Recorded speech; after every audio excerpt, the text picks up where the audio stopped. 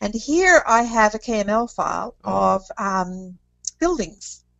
We might just try and inspect this one. So you're going to read the KMZ. Yes. Now, There it comes. Now the interesting thing with this is that um, it's they're three-dimensional buildings that are actually in lat long. So our data inspector has a little bit of problems with them. So in fact, I'm just going to continue on. But we could have looked at them, but they are 3D buildings and they Yes. look really good in Google Earth.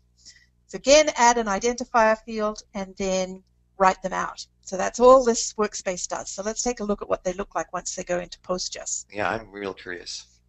Okay, so we're going to start this translation. And this one didn't, it was actually amazingly quick.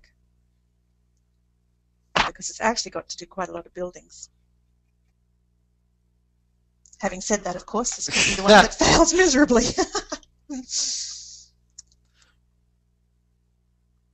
Did we ever get our buildings? Oh, there so they this are. is this is what they looked like in KML. So they're you know they're buildings like this. If, if they were If you flip them into 3D, does it look? Uh, it, no, the data inspector has a few problems with these ones Because the- these are the KML ones. right But as soon as we get them over into our PostGIS, we'll be able to take a look at them. there it goes. So there we go.